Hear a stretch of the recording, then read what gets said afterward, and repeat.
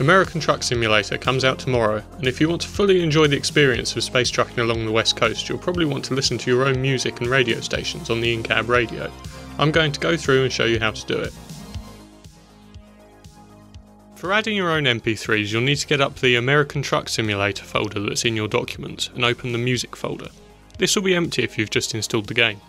Copy any music you want to play here, Normally you can save the trouble of locating the files by going to your media player and dragging them from there.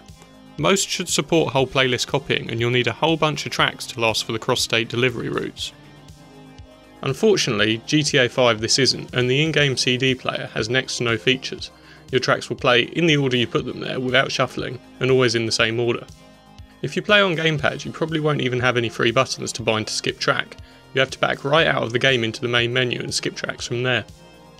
Because of this, it's better to find an internet radio station you enjoy and add that to the game, something that's basically the opposite of a simple experience. Back in the same American Truck Simulator folder, you'll find a file called livestreams.sii. This is what you'll have to edit to add your own radio stations.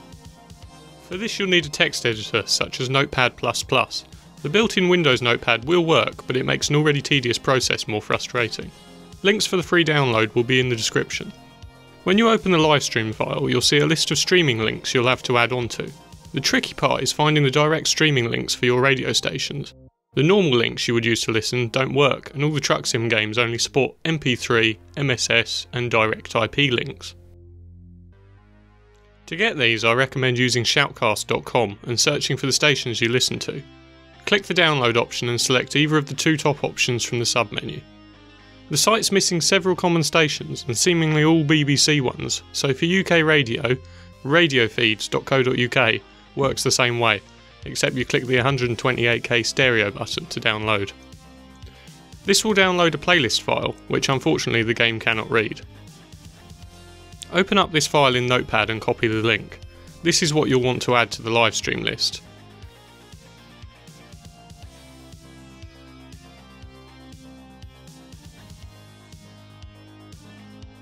Change the top stream data line to one more than your new number of streams and paste your link in between the bottom stream data entry and the curled bracket below it. Copy the prefix from the line above, making sure to update the stream number, and then copy the suffix and place it after your new entry. You can now update the info that will be shown in game, separated by the straight lines. These are station name, music genre, bitrate, and favourite. Leave the last field set as 0, you can favourite and organise the list easier in game. Now save the file and you're done. You have to do this with every station you might want to add, so I'll include a download of the file with my radio stations already added, though they might not be to your taste. If you boot up the game, you can now find the new station of music added into the radio and ready for you to listen to.